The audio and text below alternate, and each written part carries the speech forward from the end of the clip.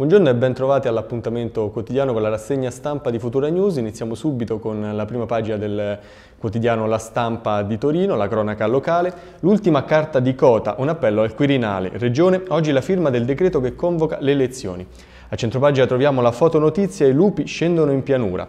Un esemplare di 18 mesi travolto e ucciso da un'auto ad Airasca. In taglio alto invece eh, vediamo la notizia che Torino presenta il suo logo per l'Expo. Ci spostiamo subito nella Prima pagina interna della cronaca di Torino, si parla appunto di cota delle elezioni regionali del prossimo 25, eh, del prossimo 25 maggio. Il, è il giorno di cota, convoca le elezioni. Il, la Cassazione deve decidere in tempi rapidi sul ricorso ai decreti per il voto del 25 maggio illustrati alla conferenza dei capogruppo. 51 i seggi in palio a Palazzo Lascaris. Eh, Nell'articolo di Maurizio Tropiano viene riportata una dichiarazione dell'ex governatore Cota. La nostra unica preoccupazione è che la Cassazione decida in tempi rapidi e utili perché la campagna elettorale e il procedimento elettorale non risultino viziati dall'incertezza. Passiamo alla prima pagina de della Repubblica, sempre su Torino. L'apertura è dedicata eh, all'occupazione all'università. La laurea vale ancora un lavoro, in Piemonte percentuali di occupazione sopra la media nazionale. Il caso è stato diciamo, in un certo senso occupato eh, il cortile eh, del, dell'università per quel, quello che riguarda la, il numero chiuso di psicologia. Infatti l'Ateneo Torinese era, la facoltà di psicologia era una delle, dei pochi dipartimenti eh, ancora ad accesso libero e appunto è in discussione il numero chiuso per questa facoltà, quindi gli studenti si sono mobilitati eh, occupando questa notte appunto il cortile e eh, continuando con un presidio che ha coinvolto circa un centinaio di studenti. Ci spostiamo sulle prime pagine nazionali, eh, torniamo sempre sulla stampa che apre con Renzi meno tasse da aprile, oggi al via il DDL, il Premier, le coperture ci sono indiscutibili e oggettive, legge elettorale intesa Regge a fatica, no a preferenze per pochi voti. A centropagina c'è la fotonotizia della morte di un quindicenne che infiamma la Turchia. Il giovane era stato colpito dagli agenti e si è spento dopo 269 giorni di coma. Scontri ad Istanbul ed Ankara. In, uh, in, nella, sulla spalla destra invece si parla di economia, Unicredit fa pulizia e va in rosso per 14 miliardi. La prima pagina di Repubblica apre sempre con legge elettorale il voto tra i veleni, PD lasciato ma il patto sull'Italicum regge. Renzi hanno provato a farmi fuori. C'è anche un approfondimento di Roberto Saviano, sciocca l'economia, oggi le misure per l'IRPEF e la manovra lavoro.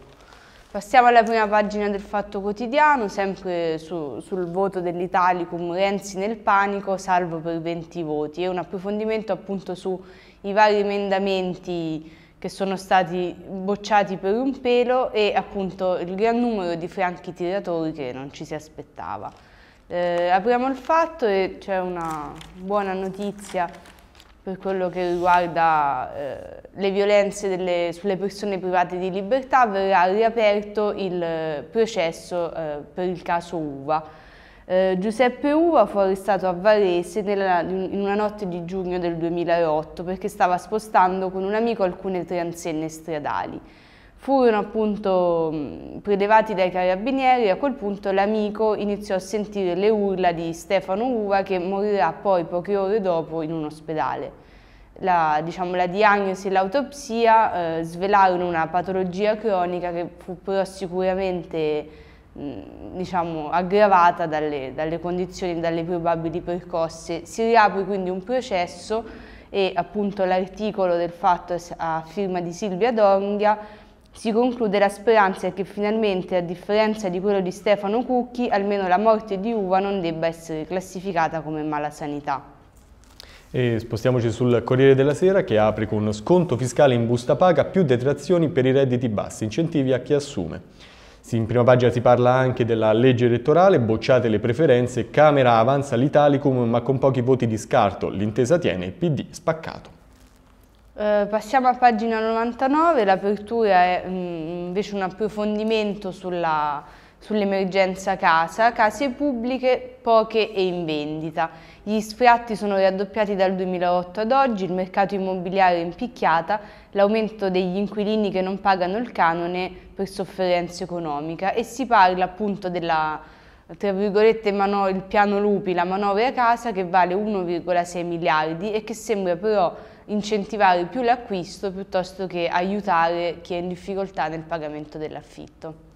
E chiudiamo con lo sport, 0 Milan, travolti e fuori da tutto, apre così la, la Gazzetta dello Sport sull'eliminazione dalla Champions League dagli ottavi di finale del Milan di Clarence Sedorf che ieri sera è stato sconfitto al Vicente Calderon eh, da, dall'Atletico Madrid per 4-1 e dice addio ai sogni di gloria europei.